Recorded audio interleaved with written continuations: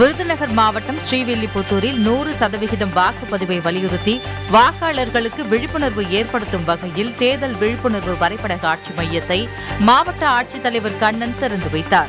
மாதிரி வாக்குப்பதிவு மையம் அமைக்கப்பட்டு மின்னணு வாக்குப்பதிவு இயந்திரங்களில் வாக்களிப்பது குறித்து செயல்முறை விளக்கம் அளிக்கப்பட்டது. மகளிர் சுய உதவிக் குழுவை சார்ந்த பெண்கள் தேர்தல் ராக்கியை மாவட்ட ஆட்சியருக்கு அணிவித்தனர். அதன் பிறகு மாவட்ட ஆட்சித்தலைவர் மாட்டு வண்டியில் சென்று தவறாமல் வாக்களிக்க வருமாறு வாக்காளர்களுக்கு அழைப்பிதழ் வழங்கினார். இந்த நிகழ்வு அந்த பகுதியில் உள்ள வாக்காளர்களை வெகுவாக கவர்ந்தது. அதைத் தொடர்ந்து மாவட்ட ஆட்சித்தலைவர் அவர்கள் தப்பாட்டம் ஒயிலாட்டம் கரகாட்டம் பறை கும்மிப்பாட்டு சிலம்பாட்டம் ஆகிய கலை நிகழ்ச்சிகளை தொடங்கி வைத்து பார்வையிட்டார்.